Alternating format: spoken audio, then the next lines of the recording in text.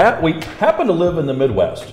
And we deal with things like recently happened in the Scotts Bluff Valley area where they had nine tornadoes, baseball sized hail. Here in Kearney, we've had a number of wind and hail incidents, no tornadoes, thankfully.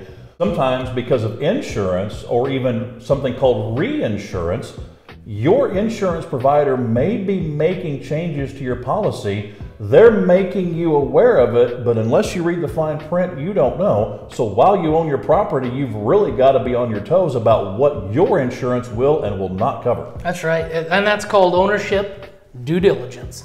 And essentially, folks, that's routine scheduling of your property view. Okay, go out and inspect it, check the roof, check the gutters, check the siding, you know, air conditioning units. Know what's going on with your property, number one, because that also affects insurability if it's in a certain or lack thereof condition for insurability. They're going to come out and maybe accept the policy if they come by and inspect. But second part to that is, and most often, uh, most people get that information in the mail but then they don't review it. They don't annualize it. They don't write things down.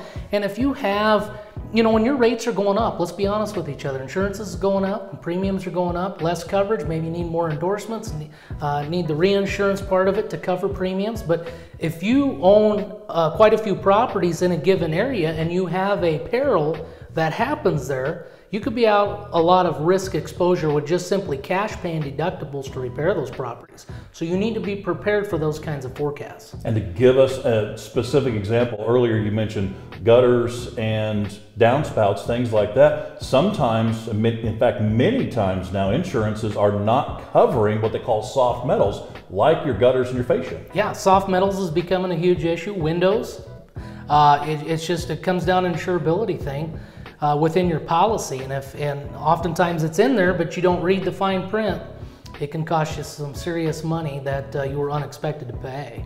When you are looking at purchasing a property, of course, due diligence will help you make the best decision while you've got the property under contract.